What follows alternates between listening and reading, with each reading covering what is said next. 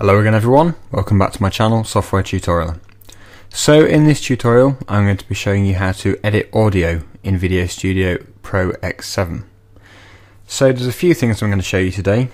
There is how to cut and delete and move around parts of the clips. I'm also going to show you how to add filters into your audio and I'm also going to show you how to increase and decrease the speed of your audio and then of course there is the volume as well. So first of all, I'm going to start off with cutting and deleting and moving the clips. So I recommend at this point that you go into the audio sound mixer. You'll then see that you can now see the waveform of that sound or music, whatever it may be. So basically what I'm going to do here is just cut it and then put a fade on the end. So you can see, now that we can see where all the audio is here, you can see that there is sound here, but there isn't sound just there.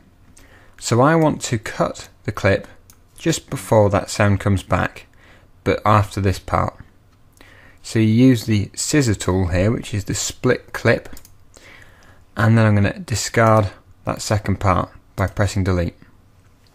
Now because we've cut it before that sound comes back in and it seems to have gone here, we can add a fade to this. So I'm going to left click on it come out of the audio sound mixer and then put a fade out effect in. So all you do is left click on that and it will now have a fade out. If we go back into here, you can see it's been applied. Now you may want to uh, lengthen or shorten how it fades out. So if you want it to fade out really quickly, just at the end, you can grab that box there and you can put it right to the end to about there and then you'll see that it will only fade out through that part. If you want it to gradually fade out, you can drag it right down here if you want to, and it will start to fade out here, and of course it'll be quiet by the time it gets to the end of the clip. So it'll be gradually fading out through this part. Now the other two things I wanted to show you, if I just left click on it again and go to options, is the speed and you can decrease the speed and increase the speed by changing this slider. So if you obviously put it this way, you'll increase the speed of the audio. Bear in mind if you do increase the sound, then it will go quite squeaky, and if you're going to do it to someone speaking, they will sound a bit like a mouse. And if you do it really quick, you won't even be able to hear what they say, it'll be completely inaudible. However, if you decrease it, then you can make some funny sounds as well. Um, if it's music, of course, you can increase and decrease the speed of that as well. So it's good to just have a play around with here until you get it to what you want it to be. The second thing was the audio filter.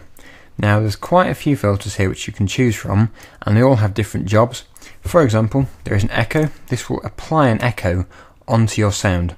So obviously you wouldn't have an echo to begin with, but if you apply that by pressing add, this will then make it sound like you're in a tunnel.